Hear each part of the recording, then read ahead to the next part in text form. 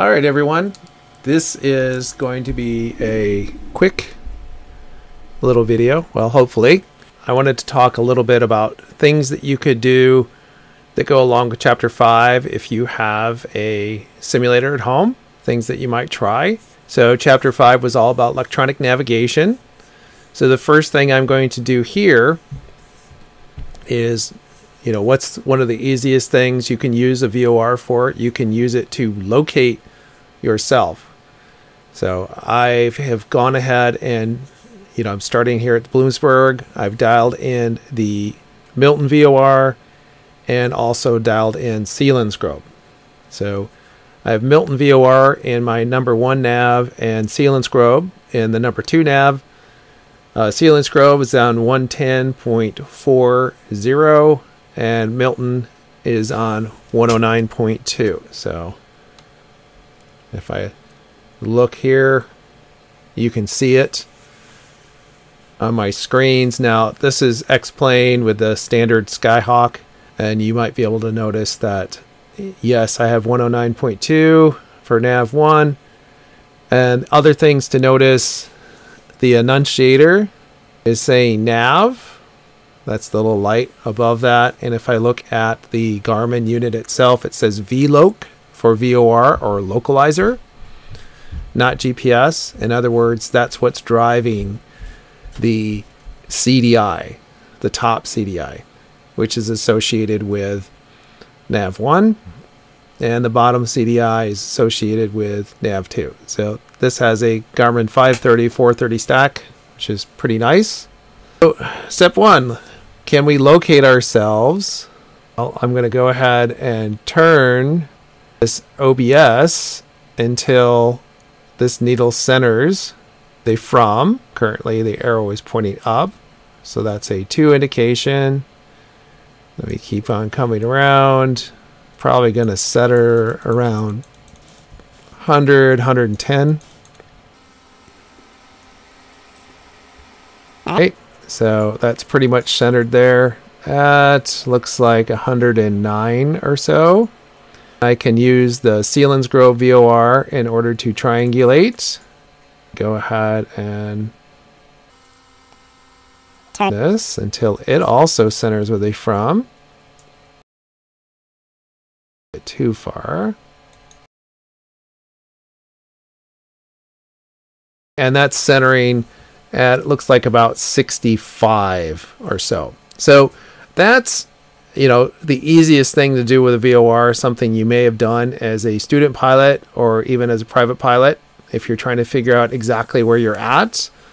Uh, I always recommend for student pilots, in particular if they're going on a trip, find a VOR to the side and use the cross radials, if you will, from that VOR in order to verify that you are in fact over the correct little town that you think you're over, etc., etc. And of course, a lot of people say, "But I have GPS," and you know, they've kind of ignored, you know, what it is that you need to do in order to fly with VORs. And that's going to come back and bite them as they try to become an instrument pilot, even though GPS is increasingly important, especially for flying IFR. Uh, you still need to understand these fundamentals of using VORs and such. Okay, so that's assignment number one. That one's pretty easy. Uh, assignment number two fly to the Milton VOR. Do that. My VOR, and I'm going to center the needle with a to indication and that will give me my approximate heading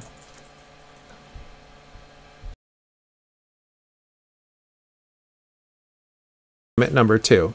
So it looks like I'm going to have to have a heading of approximately uh, looks like 289 or so should get me there.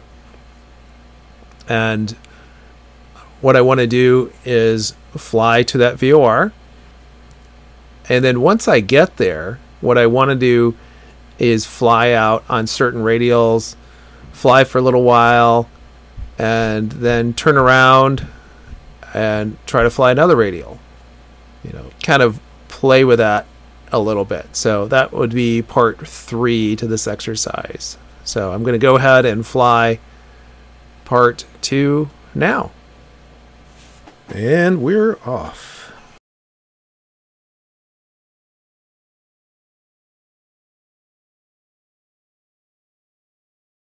Rotating. Getting a little bit of altitude.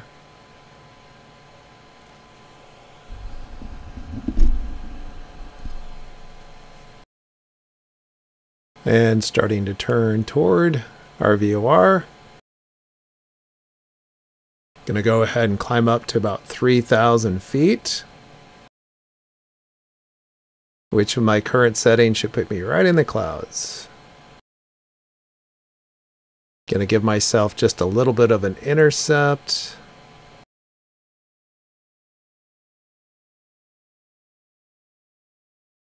Another thousand feet to go. This is another thing I recommend that you do when you're flying IFR, you should count up and count down to various items. So, you know, 800 feet to go till my target altitude. And when I'm coming down, same thing. Yeah, especially when you start doing approaches, this becomes a really good idea. I'm going to go a little bit to the left now that my needle is centered. 600 feet to go. By the way, I'm making a small adjustment here. So when you're making a small adjustment, nobody says that you have to make standard rate turns. If you're just trying to turn a little bit, turn a little bit. You don't have to make a drastic turn to your new heading. And of course, I'm maintaining my scan here. I've got 200 feet to go. And there we go. Nicely in the clouds right at the time that I uh, hit my 3000. So, of course, in the real situation, this is where things would be really iffy because the most turbulent part of a cloud is the interface. And that's exactly where I am right now. On the interface of the clouds. Let me see if I can get things stabilized here. I'm in solid IFR. Back some more. See that my needle is starting to move a little bit, so I'm going to correct a little bit to the left. There's another fun thing that sometimes you run into when you're flying IFR where you're popping in and out. I've got a little bit of a correction going on here. Bring that needle back in. Remember, don't accept deviations.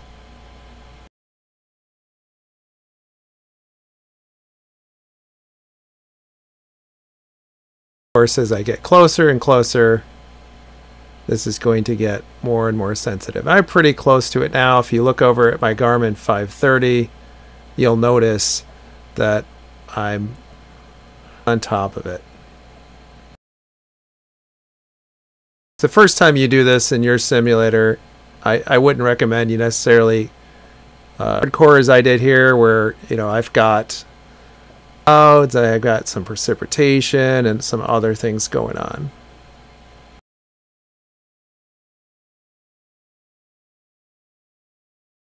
All right, so I'm just going to pause for a second.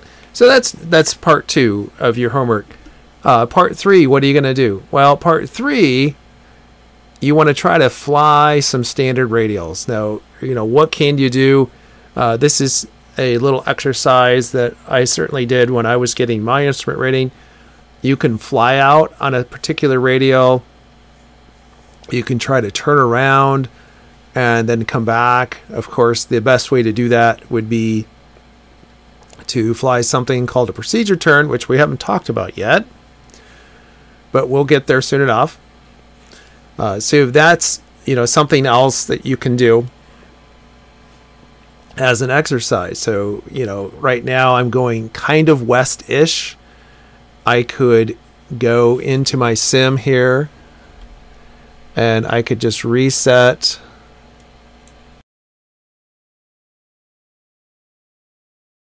I'm going to fly outbound on that west radial. So I could try to intercept that and then fly that outbound a little bit. I could turn around. Um, and since we haven't talked about procedure turns just yet, what you could do to turn around is simply turn around and let's say I'm going to the west. If I turn to the right, maybe I come back in inbound on the 280 radial, which has a reciprocal of 100. So I could dial in 100 and then I could track that inbound and then track it out for a little bit and just keep doing that a little bit. You know, just challenge yourself. You can turn to the right and then turn to the left and go back and forth. And that's something else that you could do. I think it would be a nice exercise for you and it would be a good challenge.